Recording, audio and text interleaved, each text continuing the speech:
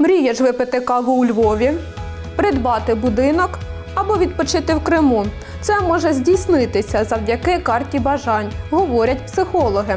Деякі дніпряни прислухаються і створюють свої мапи з цілями на майбутнє. Налаштуватись на 2024 рік це головна мета Діани. Дівчина впевнена, у цьому їй допоможе карта бажань. Її вона створює вперше. У мене є якісь плани, які я хочу візуалізувати для себе е, і бачити і дивитися, до чого я хочу йти.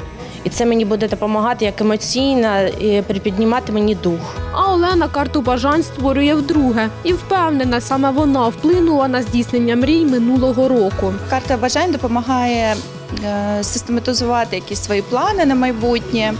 Ну, Для цього я сюди і прийшла. Е, Цього року налаштована на роботу, щоб в мене більше було е, якихось робочих досягнень, і в принципі в мене все в цьому плані реалізувалося. Цьому році я більше налаштована на себе. Карта бажань це не міфи та казки, це психологічний підхід, говорять фахівці. Це таке, знаєте, практичне завдання, коли ти а, можеш взяти якісь е, фото, якісь малюнки, якісь вирізки, ті, які тобі хочеться, і спланувати їх, склеївши на карту. Да? Таким чином ти можеш фокусуватись на те, де твої бажання, чого ти хочеш, куди жити, куди мріяти. Це не про те, що ти можеш, а про те, чого ти хочеш. Журналісти відкритого також вирішили створити свою мапу бажань.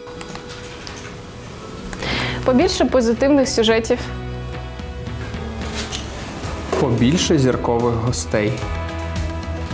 А дехто з наших колег не вірить, що карта бажань діє, але вирішили спробувати. Не просто приклеїти, а треба діяти, щоб щось отримати. І всі важкі часи допомагати ЗСУ. А так я бажаю, аби наші військові поверталися додому живими.